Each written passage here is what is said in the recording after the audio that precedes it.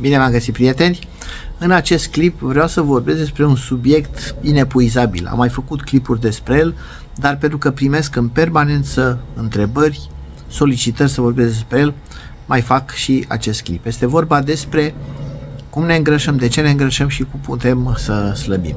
Ei bine, în afară de situații patologice, tulburări metabolice, eu știu, alte cauze care pot să ducă la îngrășare, în mod normal ne îngrășăm în principal din cauza insulinei.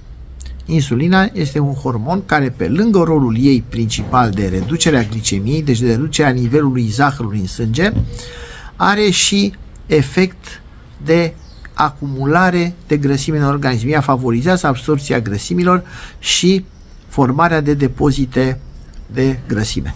În primul rând se formează grăsime în ficat și apare ficatul gras, steatoza hepatică non-alcoolică, deci care nu este de cauză alcoolică, și apoi grăsimea se depune în jurul organelor din cavitatea abdominală și formează grăsimea viscerală, care este foarte periculoasă pentru că este și o grăsime activă din punct de vedere metabolic și este un factor major de risc pentru boli cardiovasculare, pentru boli neurodegenerative. Sunt studii care arată că această grăsime viscerală are un rol Uh, important în dezvoltarea bolii Alzheimer, de exemplu.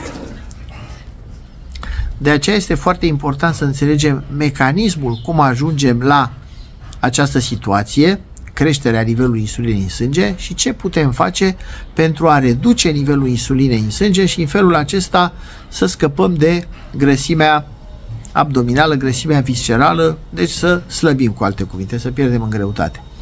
Care este principala cauză de creșterea secreției de insulină. Consumul de carbohidrați. Carbohidrații, vorbesc de carbohidrați simpli, nu carbohidrați care se absorb în sânge sub formă de glucoză. Și aici principalele resurse sunt reprezentate de amidon, amidon care se găsește în pâine în cea mai mare uh, cantitate, se găsește și în cartofi, se găsește și în orez, se găsește și în uh, porumb, deci în mălai, dar în cantitate mai mică. Și, de asemenea, zahărul. Zahărul este o importantă sursă de glucoză, pentru că molecula de sucroză, cea care este molecula de zahăr, e formată din două molecule, o moleculă de fructoză și o moleculă de glucoză. Molecula de fructoză, deși nu uh, crește nivelul glicemiei, o să explic prin alt mecanism, duce și ea la o creștere a secreției de, uh, de insulină în sânge. De ce se întâmplă? În momentul în care consumăm carbohidrați, aceștia în tubul digestiv sunt uh, desfăcuți în moleculele componente. Amidonul este un lanț lung de molecule de glucoză, deci este desfăcut în molecule de glucoză care se absorb în sânge.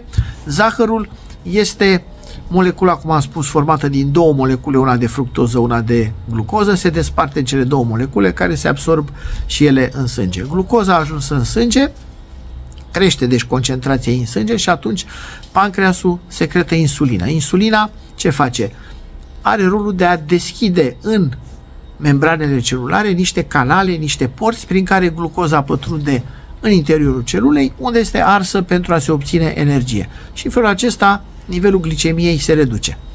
Ei bine, dacă această situație este uh, continuă, după un timp, celulele devin mai puțin sensibile la acțiunea insulinei. Ce înseamnă că de, sunt mai puțin sensibile? Nu se mai deschid în aceeași proporție acele porți, acele canale în membranele celulare, deci pătrunde mai puțină glucoză în celule sau pătrunde într-un timp mai îndelungat.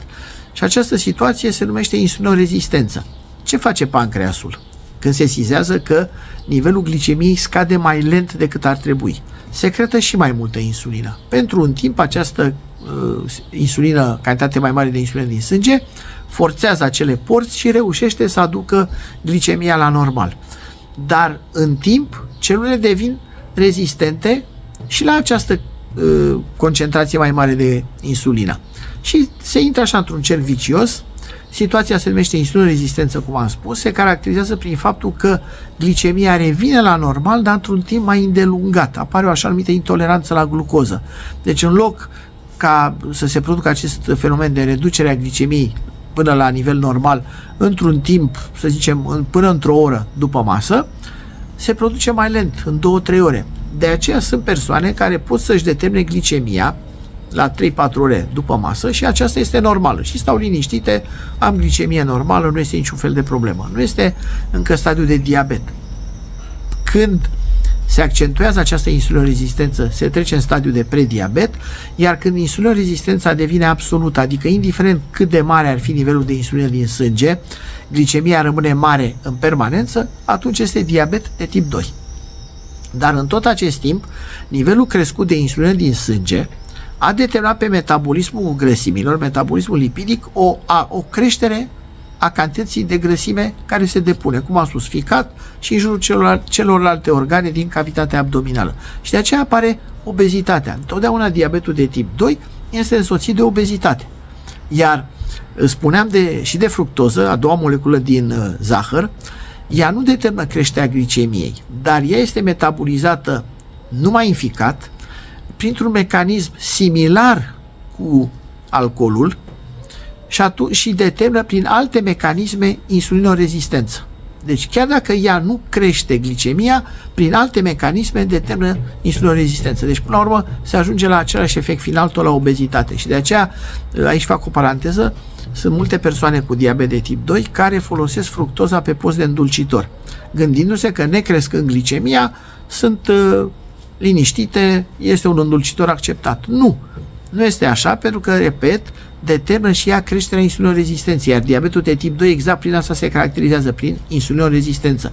Deci celulele nu mai sunt sensibile la acțiunea uh, insulinei. Deci în diabetul de tip 2, pe de o parte avem glicemie crescută, pe de altă parte avem obezitate. Ce se poate face în această situație? Trebuie inversat uh, procesul. Din fericire, procesul poate fi inversat. Acum, sigur, depinde de vechimea diabetului, de gravitatea lui.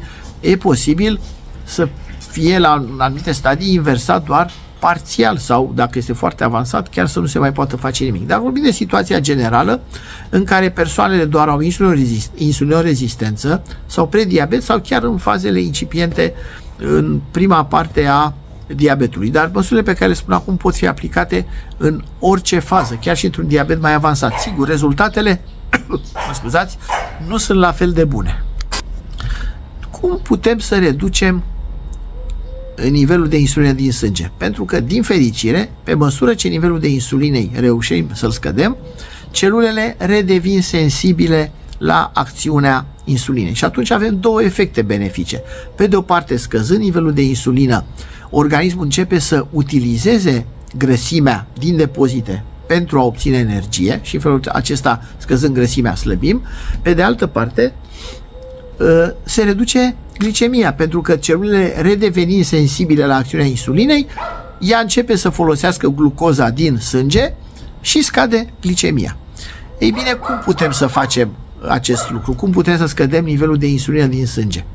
Prin mai multe metode. Una ar fi, bineînțeles, principala este reducerea consumului de carbohidrați, reducerea consumului de făină, reducerea consumului de cartofi, de orez și alți carbohidrați care cresc secreția de care cresc glicemia și cresc de secreția de insulină. Pentru că reducând consumul acestor carbohidrați, automat pancreasul automat se reduce glicemia, pancreasul secretă din ce în ce mai puțină insulină și celulele redevin, își recapătă sensibilitatea. Pentru asta, îmi fac și puțină reclamă acum, am scos această carte, are 100 de rețete cu feluri de mâncare cu conținut redus de carbohidrați, adică undeva până la 15 grame pe porție.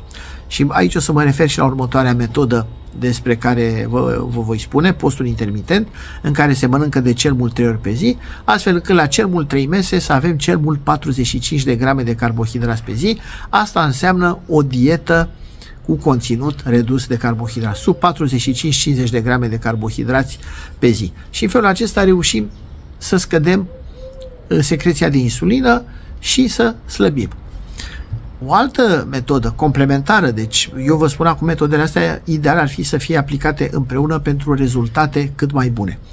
Este postul intermitent. Postul intermitent este acel regim de viață, aș putea să-i spun, prin care se consumă cel mult 3 mese în cel mult 8 ore. Sunt mai multe variante. Unii prin post intermitent înțeleg că o zi sau două pe săptămână să nu mănânci nimic. Eu merg pe uh, varianta de post intermitent în care mănânci zilnic, dar de un număr limitat de ori, de cel mult 3 ori, într-un timp limitat, de cel mult 8 ore. Care este logica? De fiecare dată când mâncăm, pancreasul secretă insulină. Ori, dacă mănânci de 5, 6, 7 ori pe zi, chiar gustări mici între mese, nu contează. Pancreasul secretă insulină, deci nivelul de insulină crește. Iar asta duce în timp, cum am spus, la insulinorezistență.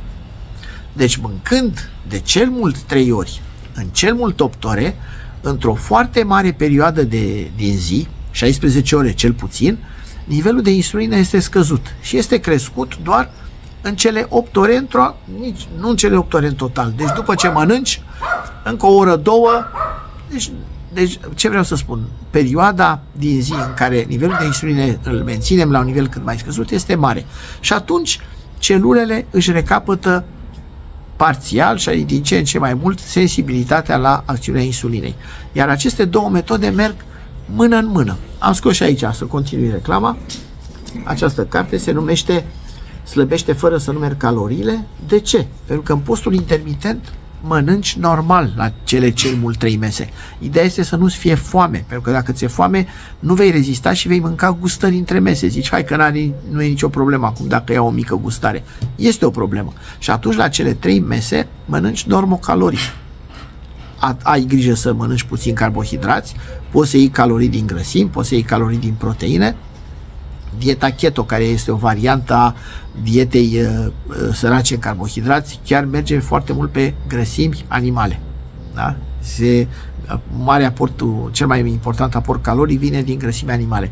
Dar oricum important este să mâncăm puțin carbohidrat și de puține ori pe zi. Deci sunt cele două metode care merg mână în mână. Și apoi, bineînțeles că mai există și o serie de alte metode adiționale, complementare, care reduc sensibilitatea la care reduc rezistența la insulină. Și aici mă refer așa numită apă magică, să-i spunem. Nu e nimic magic în ea, este o soluție care conține pe lângă apă oțet de mere, conține ghimbir, conține scorțișoară și lămâie. Toate aceste patru elemente reduc rezistența la insulină prin diferite mecanisme. Sigur, dacă ai probleme de coagulare sau e anticoagulante, nu folosești ghimbirul pentru că scade coagularea sângelui. Dacă ai probleme de stomac, ulcer, gastrită, nu folosești oțetul de mere pentru că accentuează uh, simptomatologia. Dar cu celelalte trei, uh, trei elemente se poate. Uh, care mai sunt alte metode prin care se poate reduce insulinorezistența?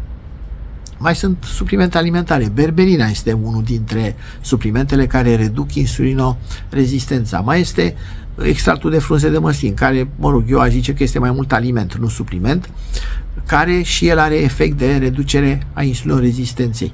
Deci mai sunt, am, am descris în, în această carte și alte uh, metode prin care se poate reduce insulinorezistența. Deci, cred că ați înțeles acum mecanismul prin care putem să slăbim. Și este o slăbire fiziologică, pentru că postul intermitent declanșează procesul de autofagie. Autofagie este acel proces al organismului prin care el se autocurăță și elimină celulele, proteinele denaturate cu o structură normală și le locuiește cu proteine și structuri normale. Iar în momentul în care se declanșează autofagia, celulele care pot să apară deci ce face organismul? Se curăță de celulele uh, de cele care rămân în plus. De aceea nu apare acel aspect de piele lăsată în atunci când uh, ții post intermitent, pentru că surplusul acela, organismul îl reciclează, îl recirculă și în felul acesta nu ți apare acel aspect care este disgrațios să recunoaștem. Deci nu e nevoie să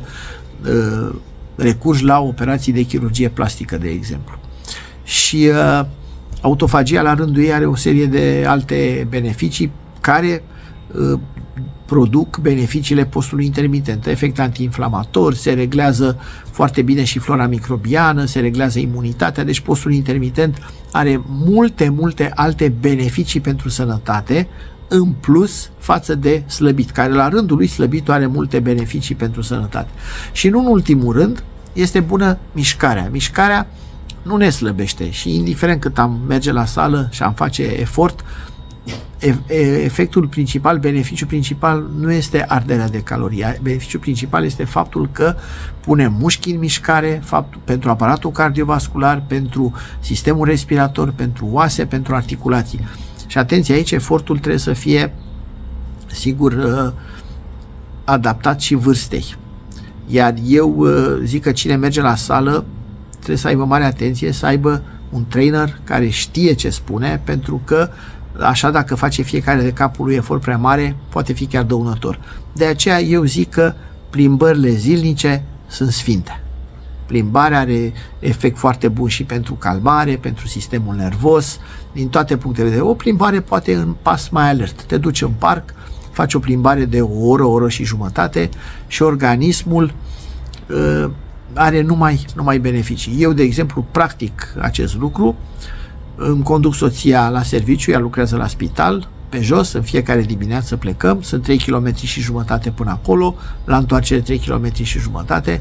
Când plecăm în vacanță, numai pe jos mergem. Am fost săptămâna trecută, am fost plecați la Cluj, Oradea, Cracovia, Timișoara și am făcut zilnic în jur de 15 km. Cel mai Uh, cel mai puțin am făcut uh, într-o zi în, în 10 km. Am ajuns în Timișoara cam pe după masă și n-am avut timp, deci atâta am putut să mergem. Deci mergem foarte mult pe jos. Este foarte sănătoasă această plimbare din toate punctele de vedere și o recomand. Deci cam astea ar fi uh, mecanismele prin care ne îngrășăm și ce putem face ca să slăbim. Nu este nimic complicat, nu este nimic nu știu, fizica atomică, să nu înțelegem, și nu este greu de aplicat. Postul intermitent poate pare greu la început, dar eu îți garantez că dacă îl începi, te vei obișnui, va fi stil de viață și dacă îl începi cu trei mese, eventual la un moment dat poți să treci la două mese și poți să ajungi chiar și la o masă pe zi. Eu personal, în principiu, cam majoritatea zilelor, cam merg pe o, o masă pe zi. Și nu este deloc greu, o să vezi. Închei aici. Recomandarea mea este, deci, ține post intermitent. Hai să mai fac o altă reclamă, să fiu criticat pentru asta. Și mănâncă puțin carbohidrați și corpul tău îți va mulțumi. Numai bine, sănătate, la revedere, gânduri bune!